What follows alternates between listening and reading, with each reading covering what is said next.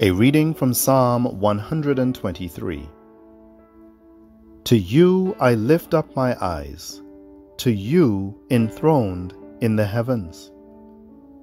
As the eyes of servants look to the hand of their masters, and the eyes of a maid to the hand of her mistress, so our eyes look to the Lord our God, until he show us his mercy.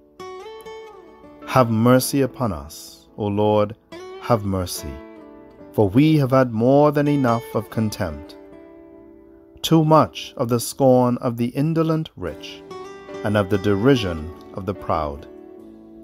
Glory to the Father, and to the Son, and to the Holy Spirit, as it was in the beginning, is now, and shall be forever. Amen.